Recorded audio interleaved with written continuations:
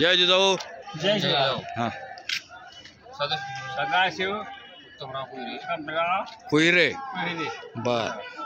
तर काय समाल सांगायचं आहे?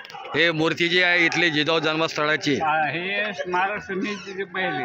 हां. आमचे वडील अध्यक्ष होते. हा. आणि ही मूर्ती पंडित गुरुजी खामगावरून आणलेली आहे. त्या बाद टिळक राष्ट्रीय विद्यालयाचे जे संस्थापक आहे पंदे गुरुजी. पंडित गुरुजी. त्यांच्याकडून आणलेली आहे. मूर्ती. हां हां. ती चारची मूर्ती. अच्छा. फाउंडेशन केलं हां. वर चढायला लागले. हां. पन्नास माणसं होते पन्नास शंभर माणसं. हां. त्यांच्या मूर्ती काही वर जाईना. अरे बापरे हां. माझ्याकडे आराम मशीन होती. हां हां हां हां. कापायची machine. हा. हां हां. मग मी दोन लोकांचे पाईप आणले. हां.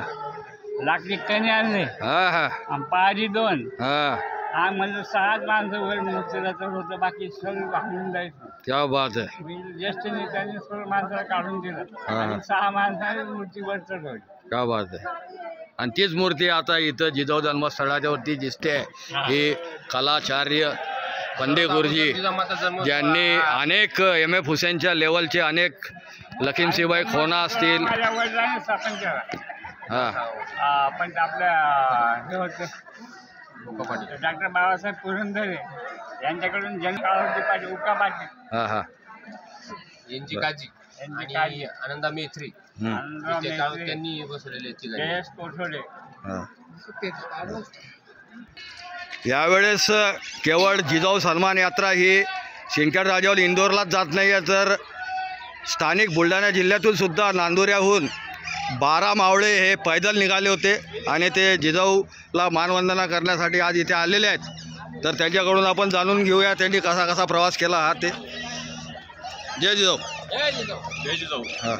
मा जिजाऊ सावित्री विचार मंच नांदुराच्या अंतर्गत आम्ही ही पायी यात्रा काढत आहोत.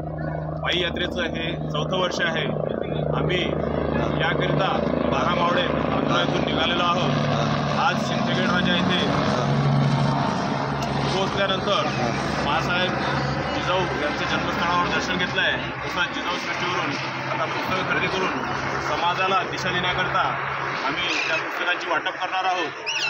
शारीरिक बलशालता यावी याकरताच या हेतूने आम्ही हे फायदा होतो. जय जिजाऊ!